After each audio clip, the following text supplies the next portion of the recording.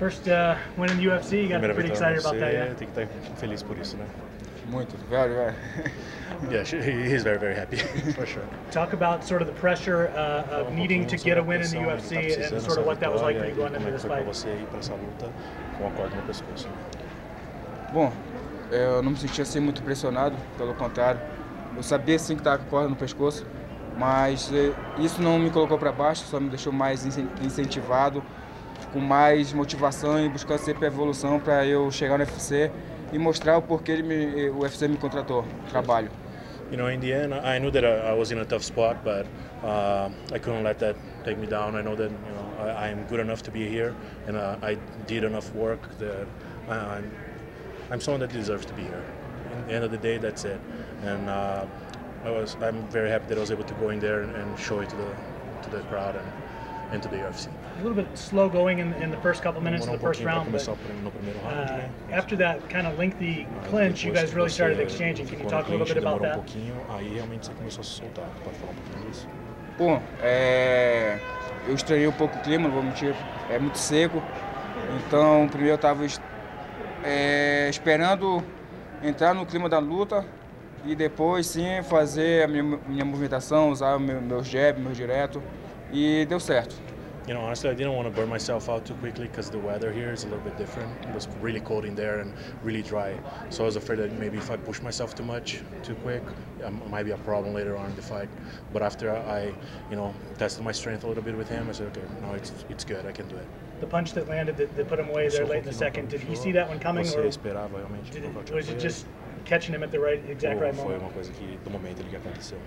Não, não, eu vim com isso, eu, eu falei numa entrevista anterior que eu ia ser o primeiro a colocar o, o Della Rosa dentro do UFC.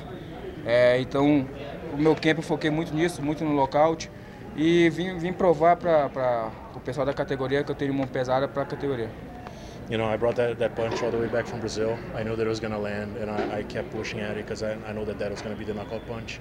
And I came here with something in my mind. I was going to be the first one to knock him out here in the UFC, and that's what happened. I, I'm here just to show, you know, the rest of the division, and I hope that everybody sees that I'm heavy-handed and I'm here to give a lot of trouble to a lot of people. Colleen, talk about how you seemed like you used your, your height and your reach to great advantage Bom, é, eu tenho uma verdura bastante longa para a categoria, então eu comecei, a- comecei a usar muito meu jab, sempre baixo para ele não entrar na, na, na queda, no, no, no double leg. E quando eu vi que estava entrando muito meu jab, aí comecei a dar também meu direto. Então todos os golpes que eu estava dando, estava entrando. Então com isso eu fiquei mais é, focado a buscar o lockout. You know, I'm pretty lengthy for the division. I'm one of the tallest in the division, one of the, the biggest reaches, and uh, I know that once I found the, the range for my, my jab, and that's what I was trying from the beginning, I could start throwing the, the harder punches. So that's the big thing. I just kept my base low because I am taller, so I'm, on, on paper I'm supposed to be easier to take down.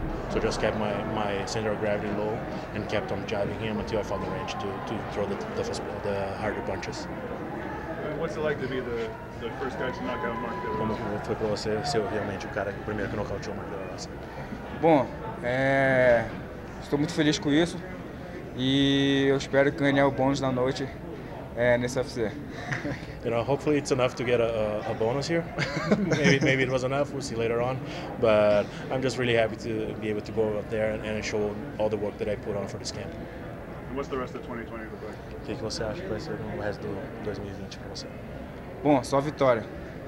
Only wins. Only wins this time around.